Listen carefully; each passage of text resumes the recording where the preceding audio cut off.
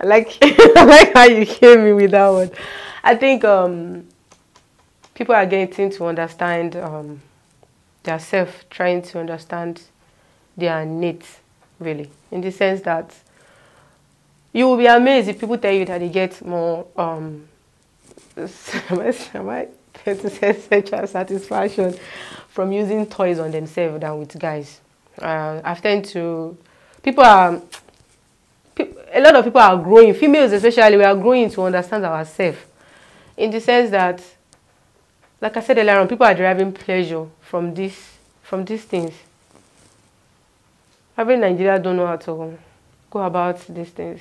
If you if you if you ask guys, are okay, oh, I give you head, you do that in return. I know, ah, oh, no, I cannot do it. A lot of people zero with four plays, and you will be amazed how much pleasure people get from using these things. I'm a living witness. I'm a living witness. I enjoyed it for real. I enjoyed it. And people that attend to maybe career women, busy women, and all that, yeah, to, to, to go to get stuff. When you come back from work, use your stuff, you set yourself in the mood, use it. Take a shower, you sleep.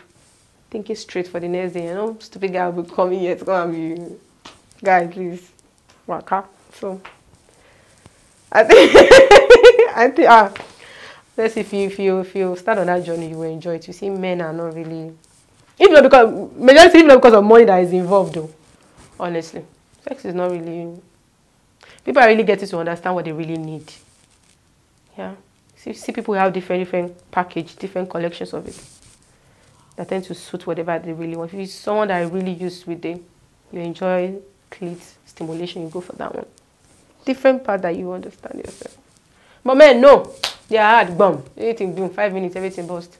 The end. They might be uh, actually satisfied, but you, you're not really feeling.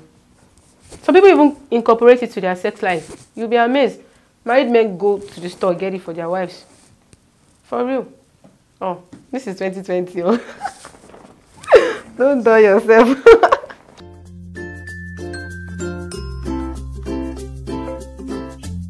wow. Honestly, um, I don't know. Actually, I have um, zero tolerance for anything drugs. I don't like it. Be it smoking, drinking, this syrup things, everything they use. I have zero. Like I don't even like it. You you will never and I'm saying it's life on here. You will never catch me doing all those sort of things because I'm not I'm not here to um, make anybody feel bad.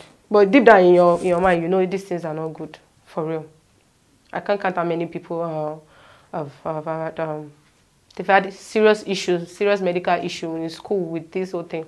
They will not want to admit I have a friend that actually fell down and he was he was having confusion one time and they had to rush him to the hospital because of the overdose of syrup being mixed with some stuff. I don't do drugs and I, and I will never um, be in support or embracing people that are involved in it because it's zero, it's rubbish to me. Because I don't know how I'll go and take, withdraw money, get money to, to go and buying things that are going to kill me.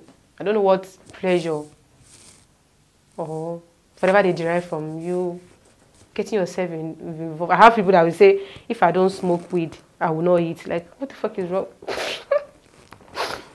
what the hell is wrong with you? What has taking, I be smoking weed got to do with you not eating?